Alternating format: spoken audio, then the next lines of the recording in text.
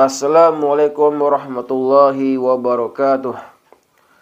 Alhamdulillah wassalatu wassalamu ala rasulillah amma ba'd. Baik sekarang kita masuk pada pembahasan kalung emas untuk pria. Pertanyaan Dalam sebuah hadis yang diriwayatkan oleh Abu Dawud dari Abu Hurairah radhiyallahu anhu menyebutkan bahwa Allah melaknati seorang laki-laki berpakaian perempuan dan sebaliknya seorang perempuan berpakaian laki-laki.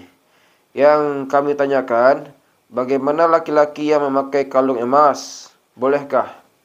Bagaimana kalau kalung bukan emas? Juga bolehkah demikian itu? Jawab. Perhiasan emas bagi laki-laki tegas dilarang oleh hadis. Sesuai sabda Nabi riwayat Ahmad dan Nasa'i dari Abu Musa. Uhillat zahab wal harir linasi ummati wa hurima ala dzukuriha. Rawahu Ahmad wa Nasa'i an Nabi Musa. Artinya dihalalkan emas dan sutra bagi kaum wanita dan diharamkan pada kaum pria dari umatku. Hadis riwayat Ahmad Nasa'i dari Abu Musa.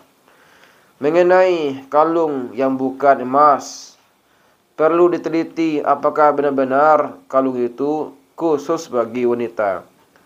Mungkin di satu daerah memang menjadi pakaian khusus wanita, tapi kalau di tempat lain bukan khusus untuk wanita, sehingga tidak menjumbuhkan kalau demikian tergantung dari niat memakainya. Untuk daerah yang tidak terbiasa laki-laki memakai kalung, akan lebih baik tidak memakai kalung yang bukan emas. Sebab akan menunjukkan kesederhanaan yang dipandang baik oleh agama kita. Demikianlah fatwa terjemah Muhammadiyah tentang kalung emas untuk pria. Semoga bermanfaat. Wassalamualaikum warahmatullahi wabarakatuh.